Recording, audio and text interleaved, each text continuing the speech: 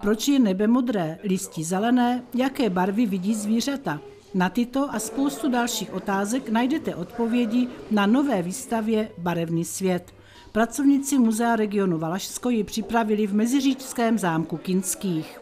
Podali jsme barvy z pohledu fyzika, z pohledu ekologa, biologa, eh, z pohledu kultury, umění, techniky. Eh, do výstavy jsme začlenili živé exponáty, máme tady živého chameleona, živé strašilky, eh, no a hlavně tady jsou interaktivní prvky, které návštěvníkům přiblíží i ty složitější témata, jako rozklad barev na optickém hranolu, jako skládání barev, RGB modelu barevném a spoustu dalších interaktivit.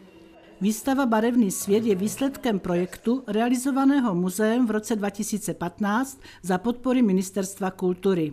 Projekt byl oceněn zvláštní cenou poroty eh, v soutěži Gloria Musealis 2015, což byl velký úspěch pro celé muzeum.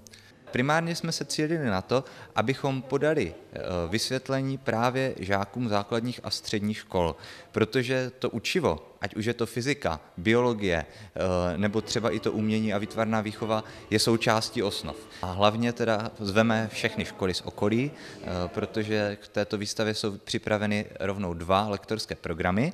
Jeden je zaměřený na přírodní vědy, takže barvy v přírodě, a ta druhá strana lektorských programů, kultura a barvy.